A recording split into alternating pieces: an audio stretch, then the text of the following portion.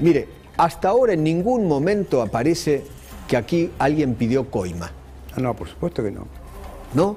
Nadie. Porque esto también se pensó, se dijo, No, no, hubo un no, rumor. Algún, algún, algún, algún político de la oposición dijo, no, porque acá, acá pudo haber habido coima. La verdad, no aparece. No aparece. Ni, ni- no, no, por ahora no aparece ningún Es dato. más un tema de miserias que, Sí. de, que- que de, de ambición. Totalmente. Me parece, ¿no? Totalmente. Yo Edu, le- Edu, perdón, te perdón. explico Le- por qué le no a- puede aparecer coima, o es complicado que aparezca coima. Una nota al pie, Doc, porque según la ley estadounidense, una empresa que paga o recibe Sí, sí, coimas claro. en el exterior queda bajo jurisdicción federal estadounidense. O sea, no, te acusa supuesto. por la coima en Argentina un fiscal en Nueva York.